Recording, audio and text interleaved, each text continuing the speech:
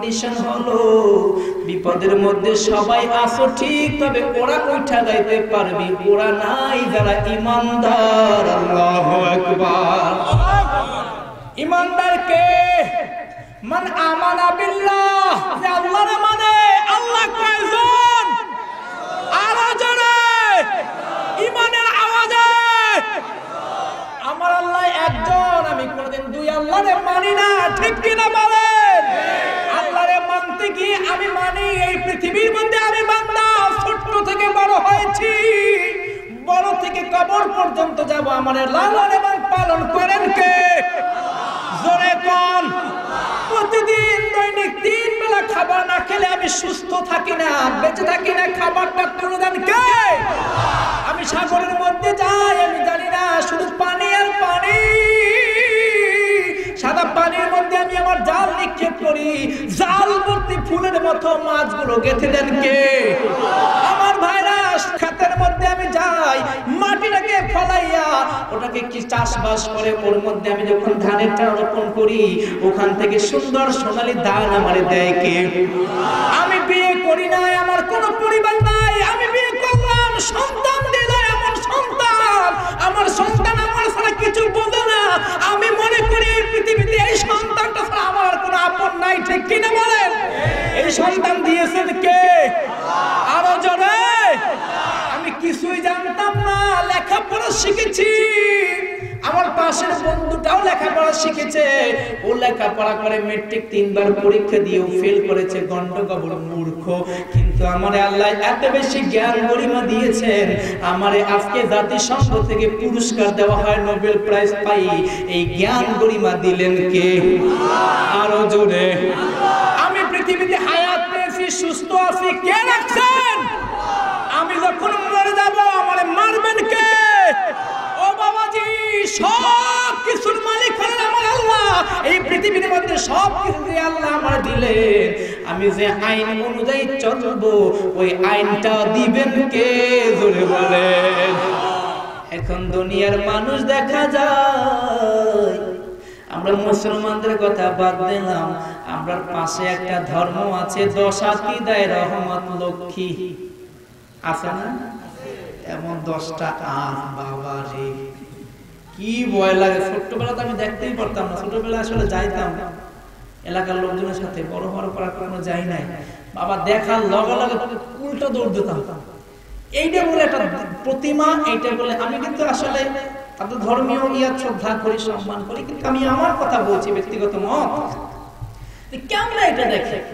যার তার দেখুন সমস্যা নেই, আমি ছোটবেলায় ভয় পাইতেই পারি। অনেক সময় তো বাবার দেখেও মানুষ ভয় পায়। পায় না? সন্তান ছোট মানুষ তো বাবাকে দেখেও ভয় পায় হয়তো আমি তেমন কিছু পেয়েছি। ওটা বললাম না, ধর্ম অবমাননা করার কোনো কথা আমাদের বলা ঠিক হবে না। এটা নবীজির নির্দেশ যে তুমি কারও ধর্ম অবমাননা করবে না, আর তোমার ধর্ম তারা কেউ অবমাননা করবে কিন্তু বিষয়টা হচ্ছে, তাদের ধর্মের মধ্যে কিন্তু এমন মত আছে, একজন দিবেন জ্ঞান একজন দিবেন সম্পদ, একজন দিবেন মান সম্মান, একজন দিবেন এমনি করে করে করে করে করে করে করে করে ছত্রিশ হাজার দেব দেবী তাদের মধ্যে আছেন এবং ছত্রিশ হাজার দেব দেবীর কিছু ক্রেডিট আছে। বলেন তো, আমি নিজে ভেবেছি এবং আমার ছোট্ট গবেষণায় বিষয়টা এমন করে দাঁড়ায়, এই পৃথিবীর মধ্যে আপনাদের সামনে করব একটু ওয়াজ, তাই না? আপনারা আমাকে গত বছর আমি এসেছি, তারপরও কিন্তু আমার পড়লাম শুরু করতে দু ঘণ্টা এর মধ্যে ভূমিকা দেখতে দেখতে শুরু করতে করতে কিন্তু আমার আধা ঘণ্টা, ঠিক কি না? এরপরে কিন্তু আমি আমার কথাগুলো বলতে পারতেছি না এমনি করে করে যদি আমার এখন জ্ঞান লাগবে। পড়ালেখা করতেছি, মাথার মধ্যে কিছু ঢোকে না, জ্ঞান লাগবে এখন ওই আমি আমার জ্ঞানের দেবীর কাছে যাইয়া অমনে ভূমিকা দিতে দিতে দিতে দিতে, বলতে বলতে বলতে বলতে কিছু জ্ঞান পাইলাম। সময় কিন্তু আমার অনেকখানি শেষ। এখান থেকে আর লাগবো ধন সম্পদ আবার হ্যার কাদায় গোড়ার দিয়ে শুরু করব নাকি? এর কাছ থেকে আবার দেখবেন ধন সম্পদের কাছে, ওরে বাবা আবার ওই গোড়ার দেয়া এই গোড়ার দেয়া করতে করতে করতে জীবনে শেষ কিছুই পাইলাম না, ঠিক কি? কিনা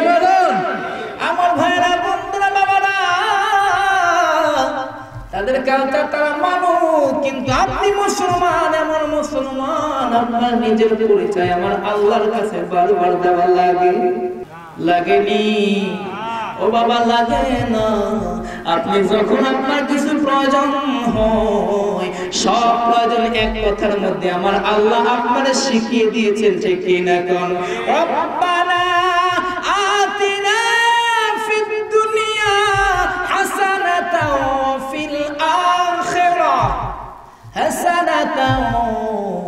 وقنا عذاب النار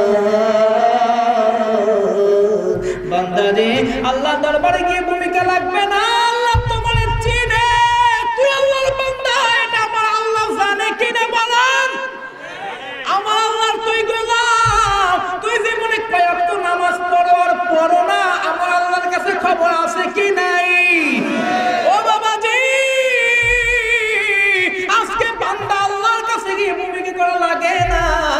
যা প্রয়োজন, এক কথার মধ্যে বললা, রব্বানা। তুমি যখন বললা, আমার প্রভু, আমার আল্লাহ বুঝে ফেলল এইটা আমার পাগলা বান্দা। কারণ এই পৃথিবীর মধ্যে রব আল্লাহরে মানে আল্লাহর মুমিন বান্দারা, ঠিক কি? আমার আল্লাহরে বললা, রব্বানা, আমার প্রভু, আমার আল্লাহ বুঝে ফেলল এটা আমার পাগলা বান্দা। ওর আর কোনো পরিচয় দেওয়া লাগবে না। ওই যখন আমার আল্লাহ বলে, মানছে। আমার নবীজিরে আমার আল্লাহ শুনিয়ে দেয়, ও নবী, আপনার উম্মতের বলেন। আমার কোন পাগলা বান্দা যখন আমি আল্লাহর ডাক দেয়, একটা কয়টা? একটা ডাক দেয়, আমি আল্লাহ রে, আল্লাহ বলে। আমি আল্লাহ, ওই বান্দার ওই এক ডাকের জবাব দিতে গিয়ে দশ বার বলে, লাভবাই কি আবদি লব্বাইক ইয়া আবদি, লব্বাইক লব্বাইক, আমার ডাকো আমি হাজির আমি হাজির যা বলার বলো, সুবহানাল্লাহ।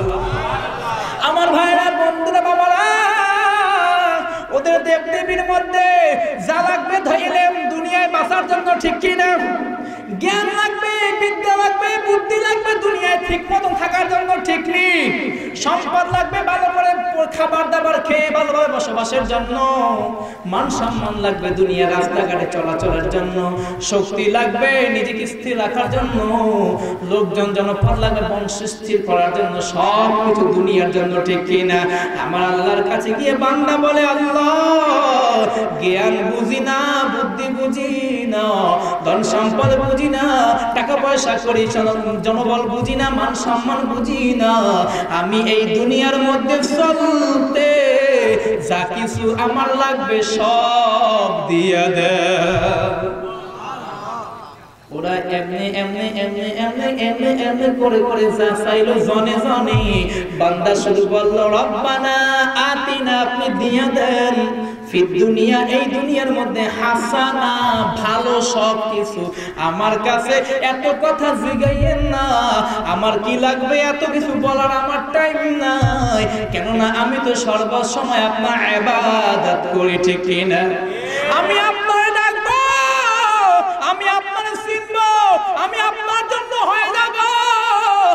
আপনি আমার জন্য যা লাগবে সব দিয়ে দিবেন, ঠিক কিনা বলেন? আমার ভাইরা বন্ধুরা, বাবারা, বুঝবেন আপনি করে এই জগতের মধ্যে আপনি এখন তো শীতের দিন গেল, মানুষ শীতের কসমেটিক্স বেশি ব্যবহার করে, ঠিক না? যায় শ্যাম্পু লাগে, একটা কসমেটিক্স সাবান লাগে, একটা কসমেটিক্স লোশন লাগে, একটা কসমেটিক্স ক্রিম লাগে, একটা কসমেটিক্স এমনি করে হাজার খানেক টাকার কসমেটিক্স হলে আপনার সবকিছু হয়ে যায়, ঠিক কিনা? এই হাজার খানেক টাকার কসমেটিক্স দিয়ে আপনি আপনার জীবন পার করলেন, কিন্তু বিয়ের সময় নতুন বউকে জানি ব্রিফকেসে পরে কি দিতে হয়? এটা কি পয়নামা। পয়নামা বা বিয়ের কসমেটিক্স এই হাজার খানেক টাকার যারা নিত্য প্রয়োজনীয় একটা শ্যাম্পু ক্রিম সাবান লোশন এই তো এই তো নাকি? আপনারা কি এই হাজার খানেক টাকার কসমেটিক্স দেন নাকি দশ, পনেরো, বিশ হাজার টাকার কসমেটিক্স দেওয়া লাগে? যেটা না। এমন এমন কসমেটিক্স কিনেন যার মধ্যে আপনি জানেন না চেনেন না এমন বিষয় আছে কিনা বলেন? আছে কিনা বলেন? এইগুলো তো আপনি কখনো কিনেন নাই। তাহলে আপনি কি এগুলো লিস্ট করে নিয়ে যান যে এগুলো এগুলো কিনতে হবে? কি বলেন? এই যে একজন বলেছেন, দোকানদারের কাছে লিস্ট থাকে, শুধু আপনি গিয়ে বললেই হয় যে বিয়ের পয়না আমাদের। সব কিছু আপনাকে দিয়ে দেবে। দেওয়ার পরে বলব ভাইজান, বিল হয়েছে পনেরো হাজার চারশো নয় টাকা। নয় টাকা মাইনাস চারশো টাকা দিতেই হবে। ঠিক কিনা বলুন? আমার ভাইরা, বন্ধুরা, বাবারা, আপনার লাগবে বিয়ের ময়না মা দোকানদারের কাছে লিস্ট আছে। ঠিক তেমনি এই দুনিয়ার মধ্যে আপনি ভালো থাকতে চান। আমার আল্লাহ হচ্ছেন এই দুনিয়ার মালিক, আপনার মালিক। এই দুনিয়ার মধ্যে আপনি কেমনে ভালো থাকবেন, ওই লিস্টটা কি আমার আল্লাহর কাছে না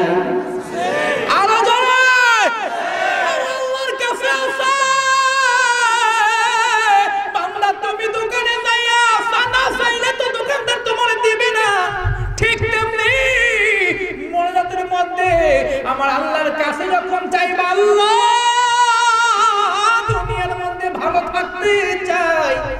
সবার সঙ্গে সঙ্গে আমার আল্লাহ তোমার জ্ঞান লাগবে, কতখানি দিবে? সম্পদ লাগবে কতখানি? আমার আল্লাহ বুঝে বুঝে হিসাব করে দিবে। মান সম্মান কি লাগবে তাও দিবে।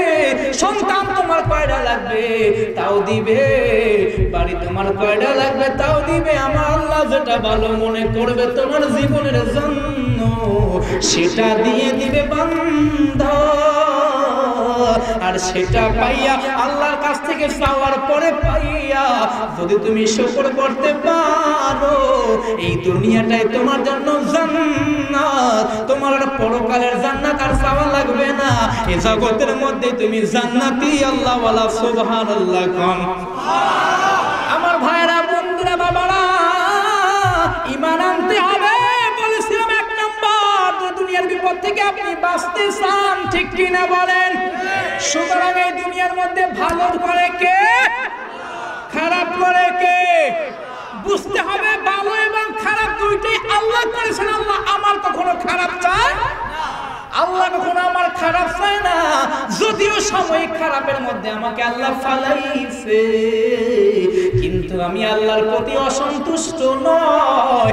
আমি আল্লাহর প্রতি অখুশি নয়। হতে পারে এটা পরীক্ষা। এই পরীক্ষায় পাশ করানোর পরে আমার আল্লাহ আমার বিসিএস ক্যাডার বানাইয়া, দেশের ফার্স্ট ক্লাস গ্রাজুয়েট অফিসার বানাইয়া আমার সম্মান দিবে, ঠিক কিনা? আমার ভাইরা, বন্ধুরা, বাবারা, এমনি করে ইমানে যতগুলো শাখা আছে, নবীজি বলেছেন আল ইমান ও বেদু ওয়াসাফুনা শবা এই পৃথিবীর মধ্যে ইমানের 70টার বেশি শাখা আছে। প্রত্যেকটা স্তরে স্তরে মানুষের ইমান আনতে হবে, ঠিক কিনা বলেন? ইমানের দুই নাম্বার শাখা হচ্ছে রিসালাত। পৃথিবীর মধ্যে আদম থেকে শুরু করে আমার বিশ্বনবী পর্যন্ত পয়গম্বররা এসেছিলেন। পয়গম্বর দাওয়াত দিয়েছেন, সব পয়গম্বরকে আপনি মানেন? মানেন না। কেমনে মানবেন? মুসা ইহুদিকে পয়গম্বর, হারে কি আপনারা মানেন মানেন না? বলছেন মানে না। ঈসা আলাইহিস সালামকে তো খ্রিস্টানরা যীশু খ্রিস্ট বলে এবং তাকে তারা নবী মানে তাহলে এখন কি আপনারা কি ঈসাকে মানেন? মানেননি? আমরা সবাই রে মানি। সব পয়গম্বর, আল্লাহর পয়গম্বর। ওই মুসা আলাইহিস সালাম এই পৃথিবীর মধ্যে এসেছেন এবং তিনি বলে গেছেন, আমার পরে নবী আসবে, তোমরা তখন তার ইবাদত, তার কথা মানবে। ঈসা পয়গম্বর খ্রিস্টানেরা ওরা নবী মানে। কিন্তু আমার আল্লাহ ঈসার বক্তব্য নকল করেছেন। ঈসা বলেছেন ইযা ক্বালা ঈসা ইবনে মারইয়াম ইয়া বনি ইসরাঈল رسول الله إليكم مصدقا لما بين يدي من التوراة ومبشرا برسول يأتي من بعد اسمه أحمد.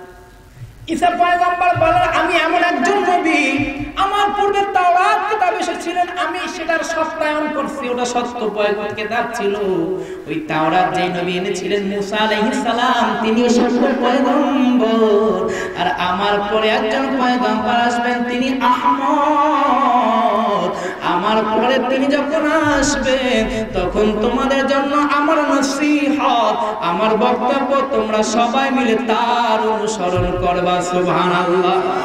আমার বাইরে রে, সংক্ষেপ করে বলতে গেছি, যাচ্ছি। আমার আল্লাহ বলছেন, বিপদের মধ্যে সব মানুষ ঠিক কিনা? বিপদ থেকে বাঁচতে হলে শর্ত কয়টা? জোরে বলেন। এক নাম্বার শর্ত কি? ইমান, এক নম্বর শর্ত কি? ইমান যিনি আনে, তারে কি বলে? মুমিন বলে বা ইমানদার বলি, আমার নবীজি হাদিস শরীফের মধ্যে বলতেছেন, লা ইউমিনু আহাদুকুম আকুনা আহাব্বা ইলাইহি মিন ওয়ালিদিহি ওয়া ওয়ালাদিহি ওয়ান নাসি আজমাইন। ও দুনিয়ার মানুষ আমার আল্লাহ, বিপদ থেকে তোমারে বাঁচাইবার জন্য চারটা শর্ত দিচ্ছে এক নাম্বার শর্ত, ইমানদার হওয়া। ইমানদার ততক্ষণ পর্যন্ত হবা না, যতক্ষণ না আমার আমি নবীরে তোমার জীবন, তোমার বাপ মা, তোমার সন্তান সন্ততি তোমার ধন সম্পদ স্ত্রী পুত্র, পরিবার, পরিজন, জীবনে যা কিছু আল্লাহর পক্ষ থেকে ভালোবাসার নিয়ামতে পেয়েছ সব কিছু বিসর্জন দিয়া সব কিছু চাইতে বেশি আমি নবীরে ভালো না বাসবা ততক্ষণ পর্যন্ত তুমি ইমানদার হবা। জোরে গান এখানে আমার নবী ইমানদার হওয়ার জন্য কি বলছেন? নবীকে কি করতে হবে? হাত্তা আকুনা আহাব্বা, হুব্বুন মাজদার থেকে আহাব্বা শব্দটা ব্যবহার করা হয়েছে তাবদিলের থেকে অধিক ভালোবাসা, শুধু ভালোবাসতে হবে না, ভালোবাসতে হবে অধিক কেমন? জোরে কন।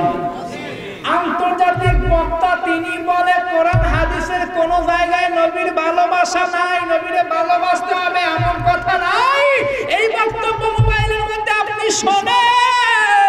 এই বক্তব্য আজকে আলেমরা এমনি করে চেয়ারের মধ্যে বসে দিচ্ছেন। আজকে পৃথিবীর মানুষ ওই বক্তব্য শুনে শুনে আবার তর্ক জুড়ে দেয়। চায়ের দোকানে মেসারুদ্দিনের সঙ্গে দেখা হয়েছে। চায়ের দোকানে আজকে মাহফিল থেকে শ্রোতা একজন যাবে বলবে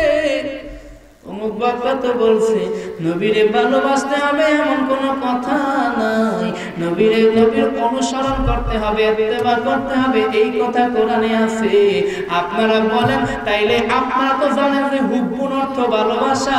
এই হাদিসটাও কোনোদিন কেউ এখন পর্যন্ত এটাকে সহি প্রমাণ করেছে, এটাকে গাইডে সহি প্রমাণ করতে পারে নাই। আমার নবী বলেছেন, ইমানদার হওয়ার জন্য আমারে ভালোবাসতে হবে অধিক ভালোবাসা। তাইলে ওই বক্তা যে বলল ভালোবাসতে হবে, এমন কোনো কথা নাই। তাইলে কথা কারটা সত্য? ওই বক্তার কথা সত্য কিনা? জোরে বলেন। এখন ওই বক্তা ওয়াজ করে, সুন্দর সুন্দর কোরআনের তাফসীর করে, দামি দামি কথা বলে, আপনারা বলুন, কিন্তু কথার মধ্যে এই কথাও বলে ফেলেছে, নবীরে ভালোবাসতে হবে, এমন কোনো কথা নাই। এমন কথা কথা কোনো জায়গায় খুঁজে পাওয়া যায় না। এখন এই রকম বক্তার ওয়াজ শুনবেন। শোনা উচিত। ইমানদারদের শোনা উচিত। আমার বাইরা রে, খলিফাতুল মুসলিমিন আলী কাররামাল্লাহু ওয়াজহাহু চেনেন কিনা? নাম শুনেন না তিনি জানি কে ছিলেন? নবীজির কে হন তিনি? নবীজির জামাতা কোন মেয়ের জামাই? ফাতেমা রাদিয়াল্লাহু তাআলা আনহার জামাই। এবং নবীজির চাচাতো ভাই, বালকদের মধ্যে ইসলাম ধর্ম গ্রহণকারী সর্বপ্রথম মুসলমান ঠিক সর্বশেষ তিনি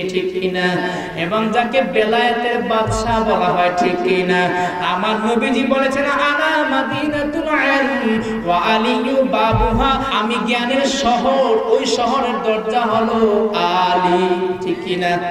গর্ব করে তিনি বলতেন, ও সাহাবীরা নবীর কাছে যাবা একবার আলীর কাছে আসবা কয়বার? সবাই বিচার দিয়েছে নবী। আলী আপনার চাইতেও বেশি হয়ে গেছে, নিজের গর্ব প্রকাশ করে কয়েক কয়, আপনার কাছে আসলে একবার আসলে বলে হ্যার কাছে যাইতে হবে দুইবার। কয়, আলী, এত বড় কথা কেমনে বলো, তাড়াতাড়ি ডাকো। ও আলী, তোমার বিরুদ্ধে মামলা দায়ের হয়েছে, তুমি নাকি এইরকম কথা বলছো? কয় হ হুজুর বলছি। কয়, যুক্তি দেখা, যুক্তি হলো হুজুর। আমি আসাদুল্লাহ সাইফি স্টেজে ওয়াজ করার জন্য আসছি, ঠিক কিনা? হ্যাঁ? আসছি কয়বার? এখান থেকে আছি, আবার চলে বার তো একটাই, ঠিক কিনা? কিন্তু ওই যে দরজাটা, ওখান থেকে আমি ইতিমধ্যেই একবার এসেছি। আবার যাওয়ার সময় একবার যাব, ঠিক নি? আলী বলে, নবী গো, নবী, দরজা তো আর নাই। ডাইনে বামে কোনো দরজা নাই। আপনি আর কাউরে দরজা বলেন নয় আমি আলীরই বলছেন, আপনার কাছে যদি পাবলিক আসতে চায়, আমার হইয়াই আসবে একবার। আমার তো খুব যাইবে, আমার হইয়াই যাইবে। তাইলে নবী বলেন, আমি যে বলছি কথা মিথ্যা নেই, নবী কয়ে না না রে আমার আলীর সম্মান তো আমি দিছি, ঠিক কিনা? আমার বাইরা রে, ওই আলী একটা খারাপ মানুষ না, ভালো মানুষ ছিল বলেন। ভালো মানুষ ছিল, মহান মানুষ ছিল। ওই আলীরে হত্যা করছে, এই জগতের মধ্যে খারিজি সম্প্রদায়ের নেতা। নাম আব্দুর রহমান মুলজিম নাম কি? আব্দুর রহমান মুলজিম তিনি কোন কাফের ছিলেন না, কোন বেদিন ছিলেন না, তিনি মুসলমান ছিলেন। একটু অবস্থাটা দেখেন, কেমন অবস্থা। আপনারা তো বলেন, হুজুর, ওয়াজ তো করে ভালোই করে। আব্দুর রহমান মুলজিম নামাজের মধ্যে পিছন থেকে আঘাত করে আলীরে হত্যা করছে। তিন দিন পরে আলী মারা গেছে। আলীরে হত্যা করার হত্যা চেষ্টার কারণে আব্দুর রহমান মুলজিমের ফাঁসি হইল, মৃত্যুদণ্ড হইল। মৃত্যুদণ্ড হওয়ার জন্য যখন তাকে মৃত্যুদণ্ডের কাছে দাঁড় করানো হইল। তখন দেখল তিনি নামাজ পড়তেছেন কি করে? বাবা নামাজি লোকটা ভালো না মন্দ? নির্দেশ হলো ওর হাত পা কেটে অঙ্গ প্রত্যঙ্গ সব কেটে কেটে তারপরে হত্যা করতে হবে।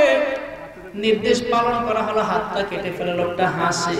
ডান হাত কাটলো লোকটা হাসে। পা দুটো কাটলো লোকটা হাসে। চক্ষুটা উপড়িয়ে দিল লোকটা খিলখিল করে হাসে। আব্দুর রহমান মুজিমের যখন জিব্বাটা ধরছে, কাটে দিবে, তখন আব্দুর রহমান মুজিম কান্না শুরু করে দিয়েছে। জিব্বাটা ছেড়ে দিল আব্দুর রহমান, তোমার হাত কাটলাম যন্ত্রণা কি তোমার নাই? চোখে কি তোমার পানি নাই? কেন কান্দো না? তোমার পা দুটো কাটলাম কেন কান্দো না? চক্ষু উপড়িয়ে ফেললাম, হাড়ে দাদা চক্ষু উপড়িয়ে দেওয়া হলো। তোমার চোখে তো পানি জিব্বা যখন ধরলাম, তখন তুমি কেন কেঁদে দিলা?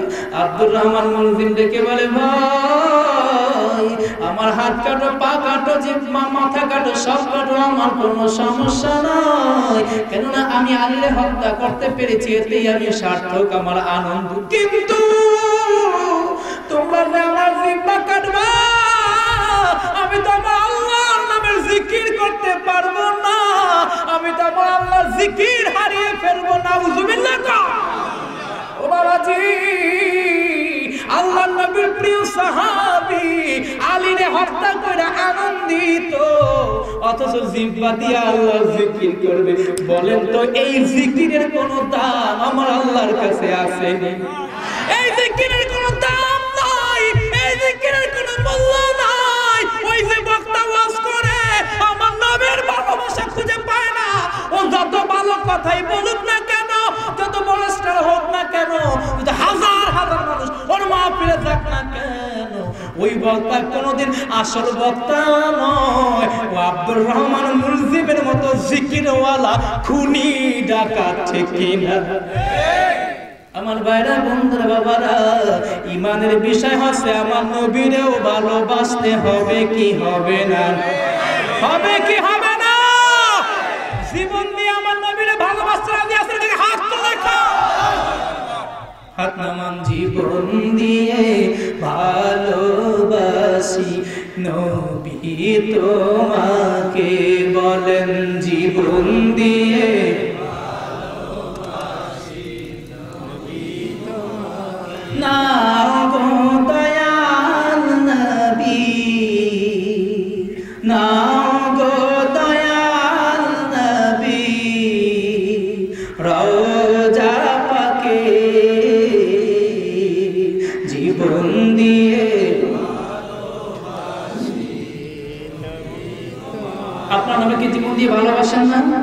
নবীকে যে যে জীবন দিয়ে ভালোবাসেন সকলের চক্ষুটা বন্ধ করে নবীর রওজাটাকে সামনে ধ্যান জ্ঞান করে যদি নবীর চেহারাটা পারেন, তাহলে আরও ভালো হয়। এরপর সবাই চক্ষু বন্ধ করে একটু আমার সঙ্গে কয়েকটা ছন্দ গান জীবন দিয়ে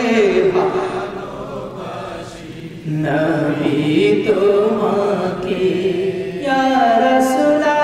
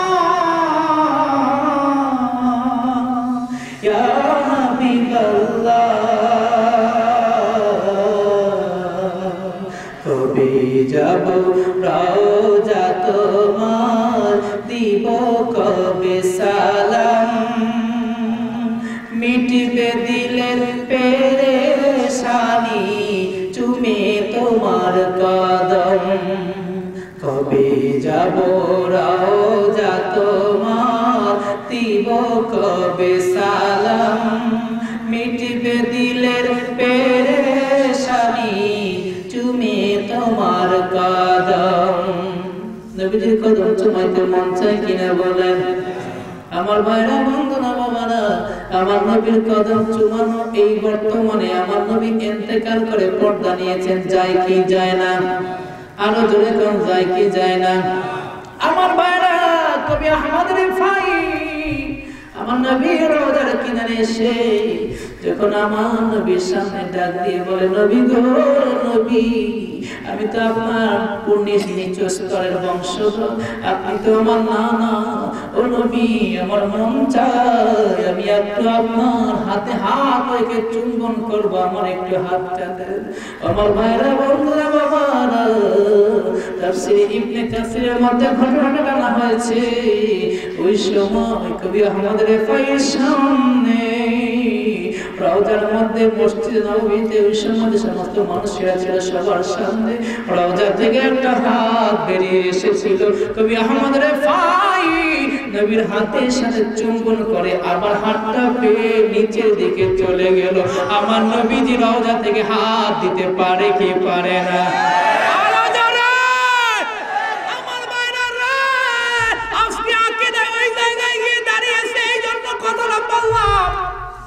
আমার নবীদের আজকে মৃত্যু বলে মানুষ প্রমাণ করতে চায়। যেই বক্তারা বলে নবীর ভালোবাসা নাই, সেই বক্তারাই বলে নবী মরে গেছে, পচে গেছে, গলে গেছে, নিঃশেষ হয়ে গেছে। ওদের বক্তব্য, ওদের ওয়াজ অন্য কোনো জায়গায় যায় না। যেখানে একটু সুযোগ পায়, যেখানে একটু সাধ্য হয়, যেখানে একটু ওদের একটু সুযোগ এসে দেয় সেখানে আমার নবীর পথ, আমার নবীর সার, আমার নবীর মর্যাদা ওরা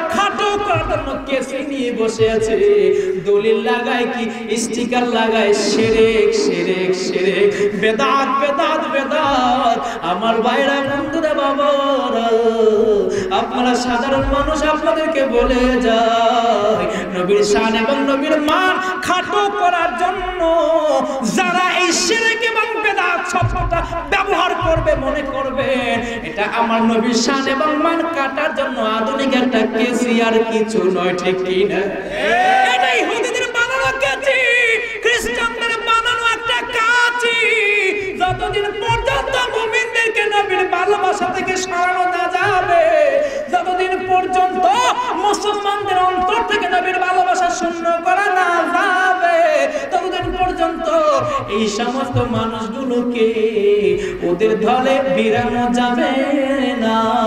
কেননা অতীতের প্রত্যেকটা ইতিহাস দেখা যায়, আমার নবীর ভালোবাসাই সাড়ে তিনশো সৈন্য, তিনশো তেরো সৈন্য, এক হাজার সৈন্যের সাথে যুদ্ধ করে, ঠিক কি? সাতশো পঞ্চাশ সৈন্য। তিন হাজার সঙ্গে যুদ্ধ করে ঠিক কি না এমনি করে করে মুসলিম ইতিহাসের মধ্যে দেখা গেছে একটা যুদ্ধেও কাফেরদের সম পরিমাণ কোন সৈন্য মুসলমানরা দেখাতে পারে না। তারপরে প্রত্যেকটা যুদ্ধের মধ্যে মুসলমানদের বিজয় ঠিক কিনা? সবাই মিলে বসেছে বাবাজিরা রে। আমরা খ্রিস্টান, আমরা রোমান সৈন্য, আমাদের এত শক্তি, এত কিছু, কিন্তু তারপর অধিক সংখ্যক সৈন্য নিয়েও কেন ওদের কম সংখ্যক সৈন্যের সাথে পারি না? ওদের কাছে কি আছে? সবাই গবেষণা করে, দিনের পর দিন চিন্তা করে, কোন অস্ত্র খুঁজে বের করতে পারে না শেষ পর্যন্ত সবাই ঐক্যমত হয়েছে যে একটা বিষয় আছে। ওদের মধ্যে ওদের নবী প্রেম আছে, ঠিক কিনা?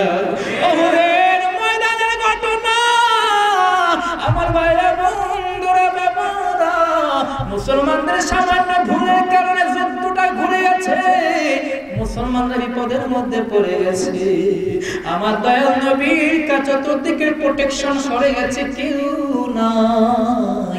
নবীজি একা দূর থেকে কাফেররা নবীর দিকে দৌড়ে আসতেছে। নবীর দিকে পাথর মারে আলকামা। নবীর কপালের মধ্যে পুরি। লোহার টুপিটা ভেঙে কপালের মধ্যে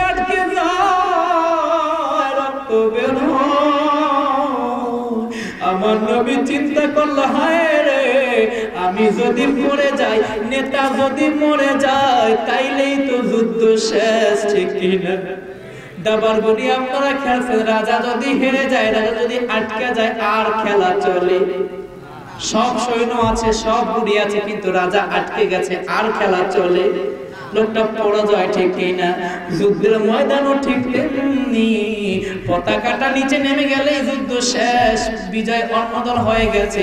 নেতা মরে গেলে, নেতা পড়ে গেলে যুদ্ধ শেষ। আর লাগবো না অন্য দল বিজয় হয়ে গেছে। আমার নবী দাঁড়িয়ে থাকতে চায়, পারে না। নবী নিজের সেভ করবে কি? এখন দাঁড়িয়ে থাকার আপ্রাণ চেষ্টা। থেকে কাফের বেইমানেরা শত্রুর দিকে দাঁড়াইয়া বৃষ্টির মতো আমার নবীর দিকে তীর মারে এমন সময় দূর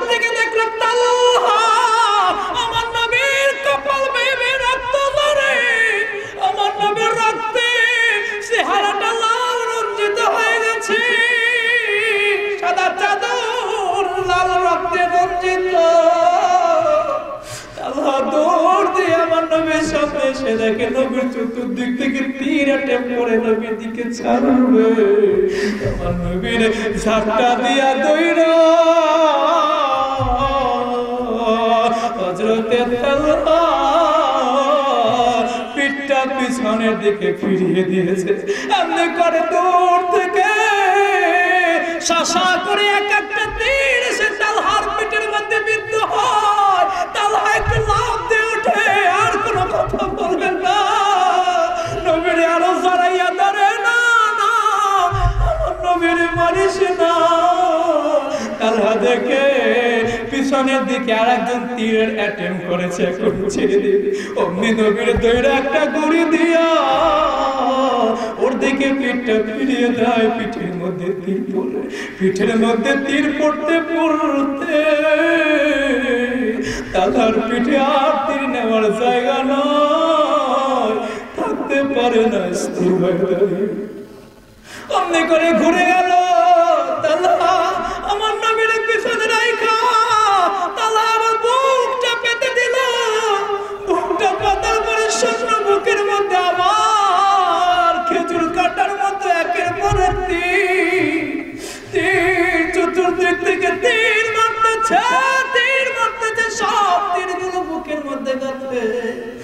এদিকে তাকায়, ওদিকে তাকায়। নিজের বাসার কোনো দিক খুঁজে না। কোন দিক থেকে নবীর গায়ে তীর আসে, ওই তীরটা ফিরাই বর্ষায় নিজের বুকটা পেতে যায়। আমার বাইরা বন্ধুরা, বাবারা এমনি করে করে যেই কয়জন চার পাঁচজন কাফের দাঁড়িয়ে ছিল ওদের হাতে যেই কয়টা তীর ছিল নিঃশেষ হয়ে গেছে, শেষ পর্যন্ত একটা তীর নবীর গায়ে লাগাতে পারে ব্যর্থ ওরা ফিরে গেল এবার আস্তে আস্তে করে পড়ে গেল। কিন্তু পড়ছে ঠিক। এত কষ্ট, এতগুলো তীর বুকের মধ্যে, পিঠের মধ্যে গাথা। একটা অসুস্থ মানুষকে সোজা করে শুইয়ে দিলেও একটু আরাম লাগে ঠিকই একটা মানুষ মুরমুর এখনই মরে যাবে, লোকেরা বলে একটু সোজা করে শুইয়ে দাও, শান্তি লাগবে, কষ্ট কম লাগবে। কিন্তু তালার বুকের মধ্যে, পেটের মধ্যে এতগুলো তীর বিঁধেছে পড়ে গেল, পা দুইটা নিচে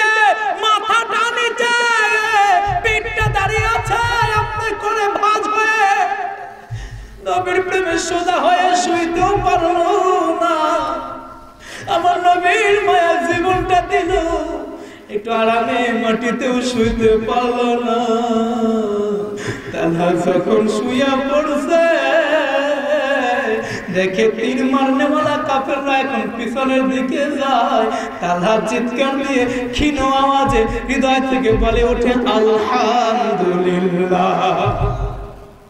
আল্লাহ বুঝালো আমি পারছি, আমার নবীর গায়ে তীর লাগে না। আমার নবী বেঁচে গেছেন, আমার নবী সুস্থ আছে আমার নবীর সাময়িক সময়ের জন্য আমি আমার বুক পেতে রক্ষা করতে পারলাম। আল্লাহ তোমার শুকর করি, আল্লাহ তোমার প্রশংসা করি। তুমি আমার নবীর বাঁচাইছো আমার ভাইরা সাহাবাই কেরাম পরে যখন গুনলো তালহার পেটে এবং পিঠের মধ্যে একাত্তরটা তীর তারা বের করে নিছে আমার বাইরা রে, ইহুদি খ্রিস্টানরা দেখলে একজন মানুষের শরীরে একটা তীর মারলাই ও পড়ে যায়। চিল্লা পাল্লা শুরু করে ছটফট করতে থাকে। বাঁচার জন্য রাস্তা খুঁজে। যেই তালহা একাত্তরটা তীর মধ্যে, পিঠের নিল। এই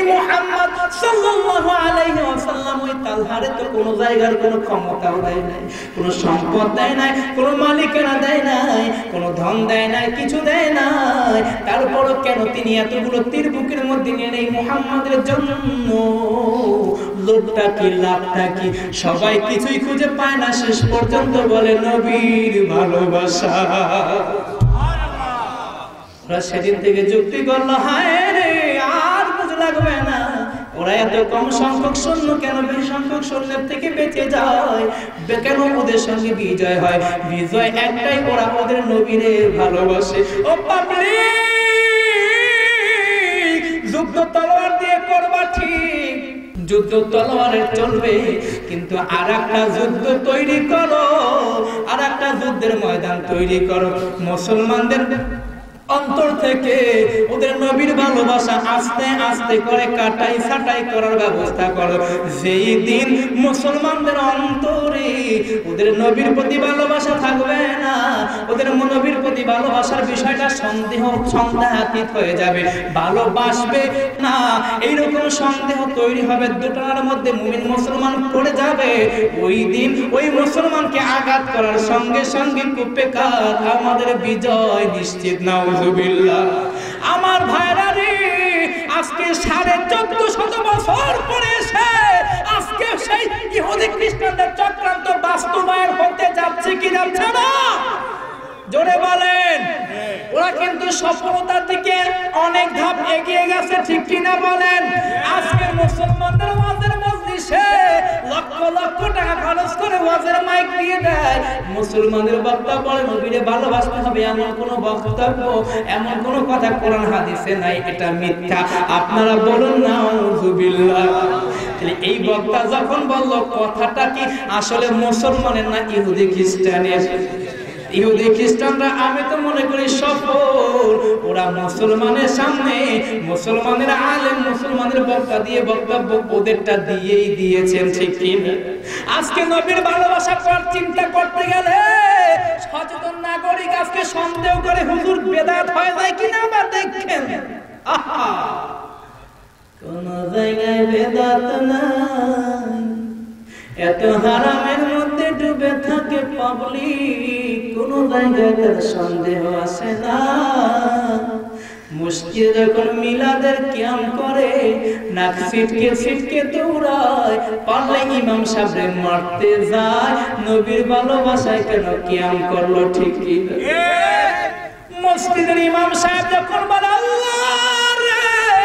আমাদের সবের হাদিয়াটুকু দয়াল নবীদের কদম মোবারকে পৌঁছে দাও।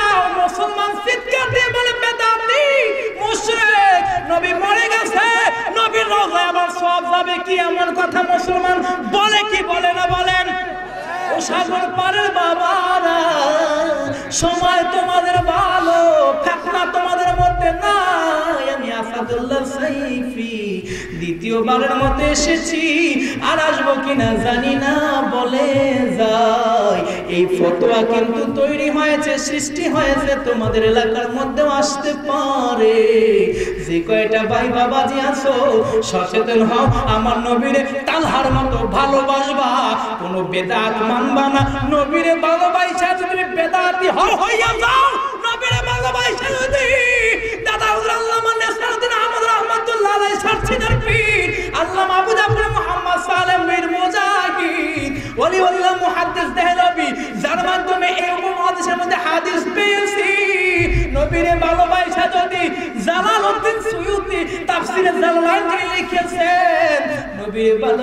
যদি এই পৃথিবীর মধ্যে আকাবেররা সবাই জাহান্নামী হয় বেদাতি হয়, মুশরেক হয়। তুমি, আমি ওই তালহার মতো নবীর ভালোবাসা মুশরেক হতে রাজি আছি কি নাই?